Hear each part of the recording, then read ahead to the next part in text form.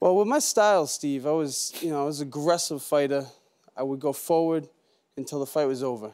Right. And I was continuously getting cut, and every cut was getting worse. And this this last fight, I um, I got close to 30 stitches on my face. And when I got out of the ring that night, I knew that it was time for me to stop doing this um, to myself and to my family. Yeah. But I need something that, that would motivate me, that would, that would, that would push me like, like training for fights did. Right.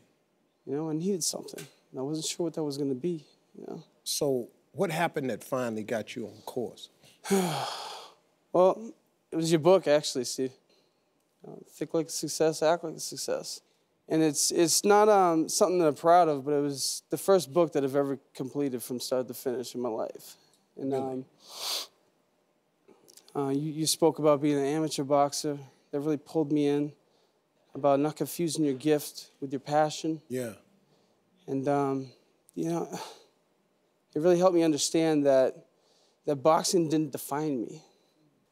How did uh what, what what did you discover your gift to be?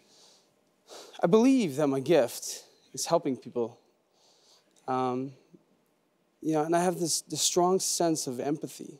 I can almost feel people when they when they have pain. I can feel it for them.